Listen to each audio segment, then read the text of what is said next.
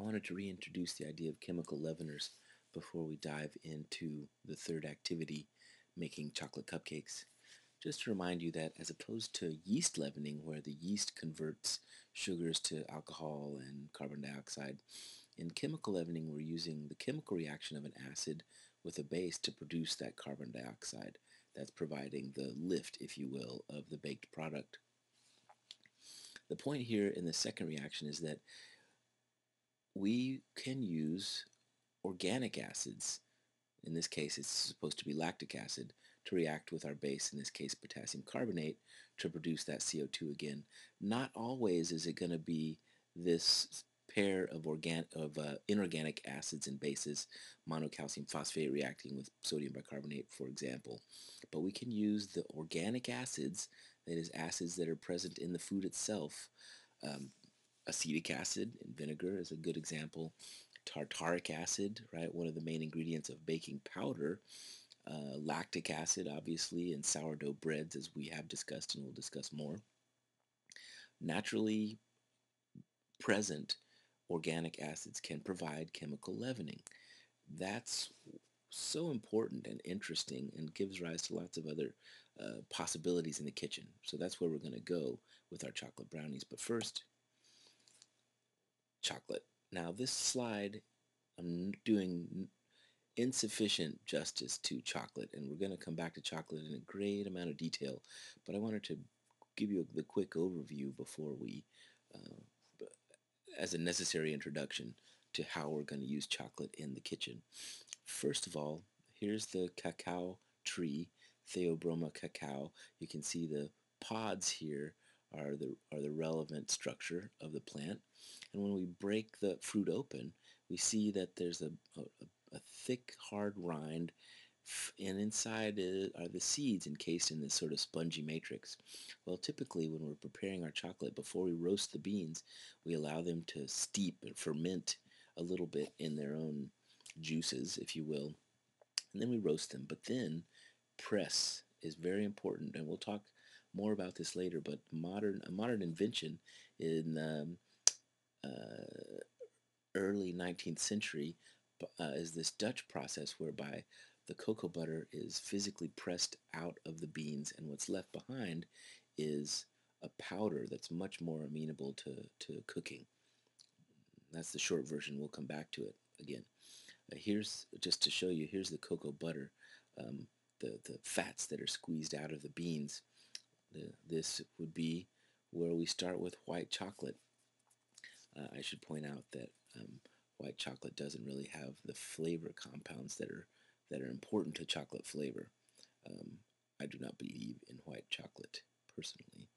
Anyway, that's how we get from these um, fruits to chocolate itself. And where we wind up in Dutch chocolate is, well, or cocoa powder, is the cocoa solids. And that's where everything interesting, uh, at least in terms of chocolate flavor, is contained. Now, important to us is there's a couple of varieties of cocoa powder natural cocoa powder is here shown on the right is acidic, has a lighter color, um, and it's full of those organic acids as I was talking about. And I want to be careful here because the Dutch invented the press that presses out the cocoa butter, but there's also a Dutch process that treats cocoa powder itself, and the treatment is um, an alkali, usually potassium carbonate, and this creates a pretty distinct color change, right? So again, the acids in the chocolate reacting with the alkali or the base to produce this color change. Um, the reasons for doing this are manyfold. There's an improved solubility, which is important, um, as we'll see. There's a color change, obviously, and there's also a change in the flavor as we uh, react those organic acids. So you're going to enter into cupcake making thinking about what kinds of cocoa powder you can use and how you can use that to affect the leavening, the colors, flavors. I'm I, these are my ideas. I invite you to come up with your own. But again, as you develop your experiment, think about what the question is you're trying to address. So what you could ask, for example, is does chocolate and baking soda or cocoa powder and baking soda leaven as well as cocoa powder and baking powder? One question. And there again, the idea is that the chocolate or the cocoa powder is providing the acid, whereas if you use baking powder, you're not you are relying on the reaction between the tartaric acid and and sodium bicarbonate in the baking powder to leaven. Another question might be, do natural and Dutch cocoa powders have the same color? Obviously they don't, but what is the effect in the brownie, or I'm sorry, in the cupcake that you're making? Does that color development depend on the leavener? That is to say, if you're using baking soda with your natural um, cocoa powder, does it change color? If you use baking soda with Dutch cocoa powder, do you get any leavening at all? You might imagine that you might not see much leavening because the baking soda has no more acid to react with in the Dutch cocoa powder. Finally, what do you think about flavor? This is a hard one to quantify, but I welcome any attempts to try to quantify this. Does natural cocoa powder used again with baking soda have a mellower taste than the natural cocoa used with baking powder? Again, with baking powder as opposed to baking soda, the natural cocoa acids are not going to react, and you might expect the flavor to be distinctly different.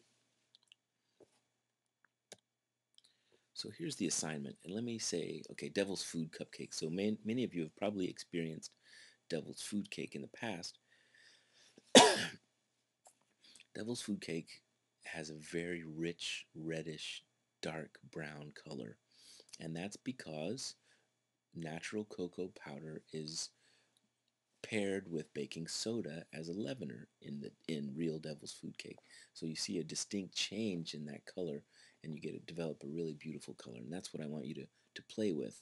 So what we've got here is a base recipe for some cupcakes, flour, sugar, vanilla, egg, milk, salt, and then variables, okay?